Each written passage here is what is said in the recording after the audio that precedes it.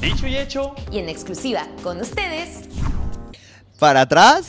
Ni para tomar impulso. Familia del dicho, ¿cómo están? Yo soy Bianca de Sousa y estoy muy emocionada porque después de mucho tiempo ya tenemos de regreso a Jos Martel. ¿Cómo estás? Sí, muy bien, gracias. Muy contento de estar aquí. Qué emoción, Jos. Nosotros también estamos muy emocionados de tenerte y más porque formas parte de este capítulo que toca temas sumamente importantes, familia. La salud mental, la comunicación en familia, eh, pues bueno, es que híjole, toca de todo, ¿no? El amor Sí, propio. Totalmente.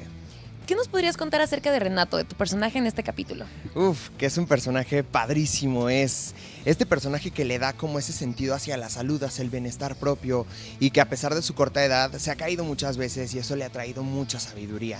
Sí.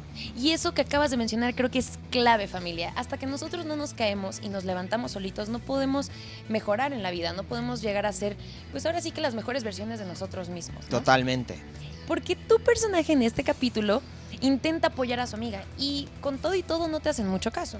Sí, no. Digo, como lo dices, exactamente. Tenemos que dejar que las personas que queremos cometan sus propios errores, a pesar de que uno sabe a veces que, híjole, por ahí no es, Exacto. pero tenemos que dejar que cometan sus errores y de todos modos vamos a estar ahí para quererlos y apoyarlos. Claro, y para cacharlos si se caen.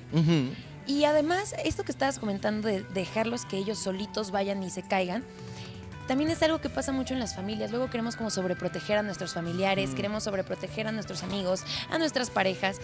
Y si hacemos eso, no los dejamos crecer. Exactamente, totalmente de acuerdo. Oye, otra cosita que yo quiero platicar contigo que pasa en este capítulo es la relación. Bueno, es que esto no sé si se le podría llamar relación tóxica. ¿Tú cómo le podrías poner a.? Pues sí, ¿no? Por las mentiras, los engaños. Sí, totalmente, o sea, las relaciones tóxicas, porque hay de todo tipo, Sí. hay entre amigos, hay de pareja y en este caso vemos una que ni es tan amiga, pero que sí Que ni son amigas. Bueno, es que medio no les podemos tóxica. contar. No, no les familia. podemos decir mucho. Es horrible no poderles spoilear, familia.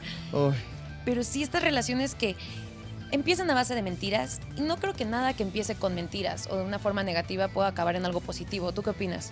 totalmente. O sea, una vez que empieza algo mal, Sí. termina mal. Claro, y obviamente hay sus excepciones, familia, como en todo en la vida. Hay situaciones que mejoran, claro que sí, pero nunca es bueno empezar con el pie izquierdo. Totalmente de acuerdo. Oye, Millos, ¿algo más que le quieras decir a la familia del dicho que nos ve? ¿Algún saludito? Ya estoy acá.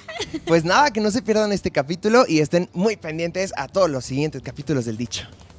Ay, pues ya saben, familia. ¿Quieren saber todo lo que va a pasar en este capítulo? No se lo pueden perder, porque, híjoles, les voy a spoilear tantito. Hasta atropellados tenemos. Es todo lo que les voy a decir, ¿ok?